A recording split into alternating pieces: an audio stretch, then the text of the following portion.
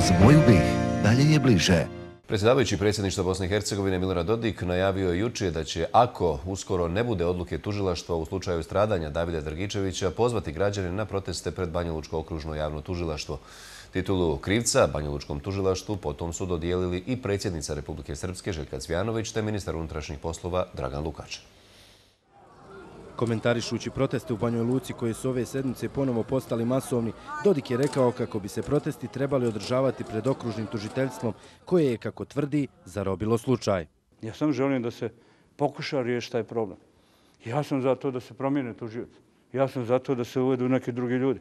Ja sam za to da Sudski tužilački savjet kaže da su ovi loše radili svoj posao i da uvede neke druge ljude. Ja sam za to, ako je potrebno, onda da sam ja, vi znate da sam protiv suda i tužilaštva BH. Iz te neke priče o objektivnosti i rešavanju slučaja, izvolite, preneste u tužilaštvo BH. Pa neko ono ne vodi taj slučaj.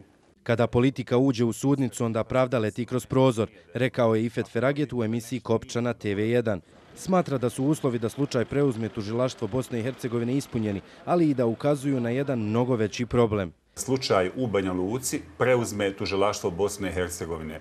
Pa pazite, e, ako bi ti uvjeti bili ispunjeni, po meni jesu, onda je nedvojbeno u pitanju da se radi o slučaju organiziranog kriminala. Predsjednik PDP-a smatra da je izjava Milorada Dodika inicirana strahom od svog naroda. I vidio je šta je narod i šta su građani Banja Luke poručili svih ovih mjeseci, svih ovih posljednjih dana, da su jako ogorčeni načinom kako se ta policija stranačka ili režimska policija odnosila prema ljudima, prema ženama, prema djeci, koji su tražili samo istinu i pravdu za ubijenog Davida Dragičevića. Analitičari iz Banja Luke kažu da tužilaštvo jeste sporo, ali da nije u potpunosti njihova krivica.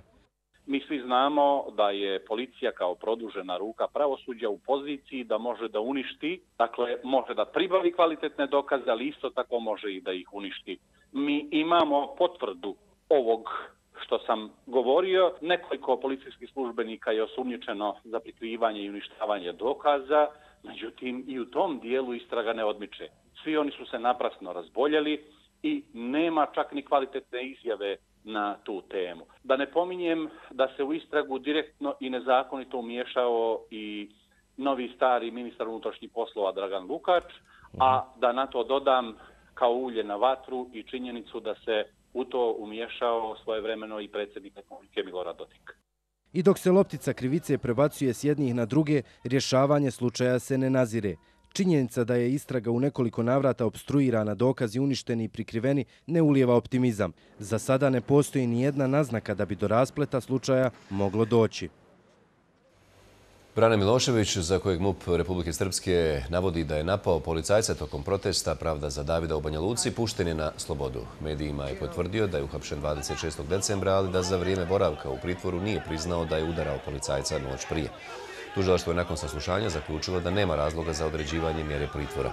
Miloševićev advokat tvrdi da je njegov branjenik bio maltretiran u pritvoru.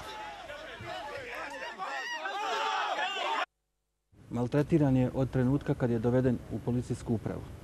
Između ostalog, maltretirala su ga i dva inspektora koja su ga privela prije nego što su ga proslijedila u pritvorsku jedinicu.